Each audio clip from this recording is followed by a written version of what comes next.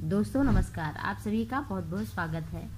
और मित्रों, जैसा कि हम सभी जानते हैं कि जीवन जीना एक बहुत बड़ी चुनौती है आज के समाज में, और सबसे ज़्यादा जो खान पान है हमारा वो बिगड़ गया है। हम अच्छा जब खा नहीं पाएँगे तो अच्छा सोच कैसे पाएँगे? हमारा शरीर अगर स्वस्थ नहीं रहेगा तो स्वस्थ मन कैसे होगा? और अगर स्वस्थ मन नहीं है तो स्वस्थ विचार कैसे होंगे? स्वस्थ विचार नहीं होंगे तो जीवन सुंदर सहज कैसे हो पाएगा? तो मित्रों, आइए आज हम आपके स्वास्थ्य की चर्चा करते हैं। जैसा कि आप सभी जानते हैं, आजकल लोग फास्ट फ़ूड पर बहुत अधिक ध्यान देते हैं और फास्ट फ़ूड कहीं भी, कुछ भी, कभी भी खा लेते हैं और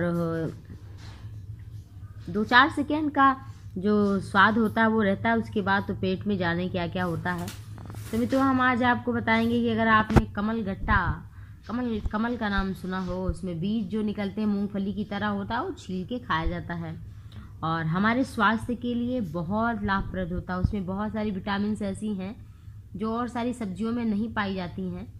और पोटेशियम, मैग्नीशियम और डायबिटीज़ के लिए, प्रजनन क्षमता और त्वचा रोग के लिए और पेट की बीमारी के लिए बहुत लाभप्रद है ये कमलगट्टा।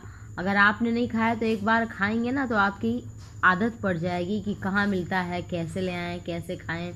और इसकी ककड़ी भी बहुत लोग पसंद करते हैं। कमल गट्टे की ककड़ी की भी सब्ज़ी बनाकर खाते हैं। और अगर आपको बीज मिले तो ज़रूर खाएँ। अगर जिसका पाचन तंत्र कमज़ोर हो गया हो, ज़रूर इसको अपने डाइट में शामिल करें। जब इसका मौसम हो, सीज़न हो तो मित्रों, ये आपके स्वास्थ्य के लिए बहुत लाभप्रद है। इसको अपना करके स्वस्थ रहें मस्त रहें। धन्यवाद नमस्कार।